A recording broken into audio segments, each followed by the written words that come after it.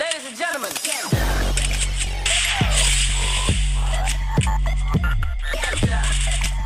Trailer तो तुम लोगों ने देख ही लिया है, लेकिन आज मैं आपको बिहाइंड द सीन दिखाएँगे। इस ट्रिक के पीछे जो सच है, वो कोई नहीं दिखाता, लेकिन आज हम आपको दिखाएँगे बिहाइंड द सीन तो देखो, क्या होता है इसे रिकॉर्ड करने के पीछे।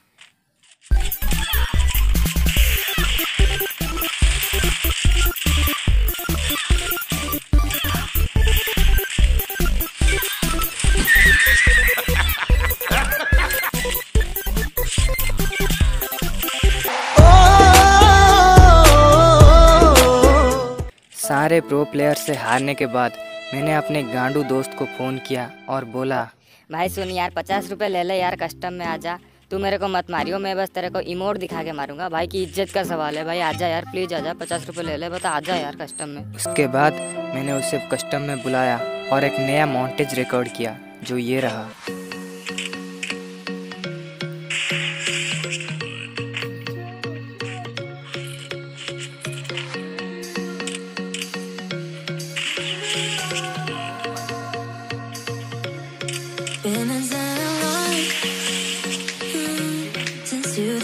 You live your life like a rock star, but I don't feel alive.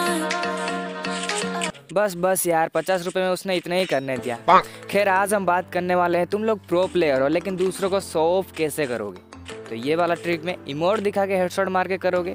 तो कोई नहीं आप लोगों को आज सिखा दूँगा कैसे आप इसे बहुत ही इजीली कर सकते हो लेकिन सबसे पहले आपको डीजर डीगल से हेडशॉट मारना सीखना पड़ेगा।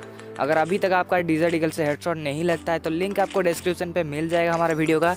वहाँ पे जाके पहले देखो। फिर जब आप डीजर डीगल से हेडशॉट मारना सीख जाओगे, फिर आप इमोट दिखाओ, चाहे कुछ भी दिखा के मारो, उससे कोई फ़र्क नहीं पड़ता। सो गाइज़ इस ट्रिक को यूज़ करके आप सिर्फ़ नुबड़ों को मार सकते हो या फिर जैसे मैंने बनाया है कि स्क्रिप्टेड मॉन्टेज उसी तरह से आप भी बना सकते हो।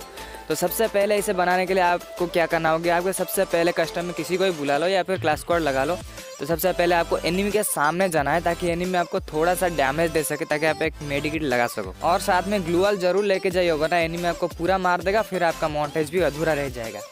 तो जब आप थोड़ा सा डैमेज हो जाते हो, जैसे यहाँ पर मैं थोड़ा सा डैमेज हो चुका हूँ तभी आपको अपना जो एम है, जो अपना क्रॉसर है, उसे आपको एनिमी के साइड में रखना है। एनिमी पे डायरेक्टली लॉक नहीं करना है, वरना हेडशॉट तो लगेगा नहीं। तो आपको थोड़ा सा साइड में रखना है, ऊपर नीचे कहीं पे रखना है, लेकिन एनिमी पे लॉक नहीं करना है।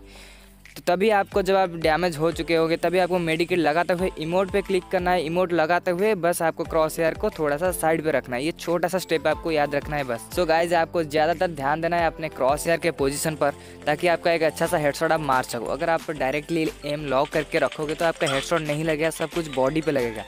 तो आपको ध्यान देना जब आप इमोट लगा रहे हो तो उसी के साथ आपको क्रॉस हेयर का जो पोजीशन है, वो एनिमी के साइड में रहे, या फिर नीचे ऊपर कहीं पे भी रख सकते हो, लेकिन लॉक नहीं होना चाहिए। तो ये आपको बस ध्यान देना है, ताकि आप अच्छा सा हेडशॉट मार सको। सच बताऊँ तो गाइज़ इस ट्रिक में ना कुछ भी नहीं रखा। ये सिर्फ़ लोगों को दिखाने के लिए कि मैं इतना बड़ा प्रो प्लेयर हूँ, ये हूँ, वो हूँ।